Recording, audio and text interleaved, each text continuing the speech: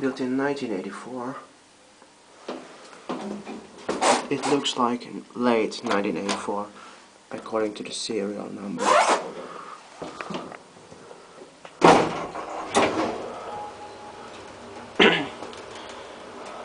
I'm gonna compare it to some other elevators which have been added on the Finnish site Elevatorit.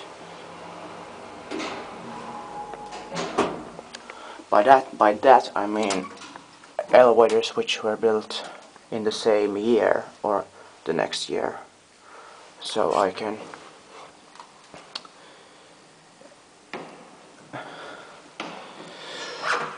so I can determine the, the real age of this elevator. Or elevators in general.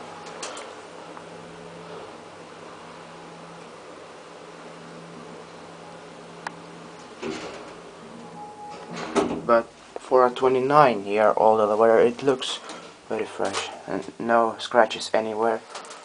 It's very clean. but the style is quite outdated.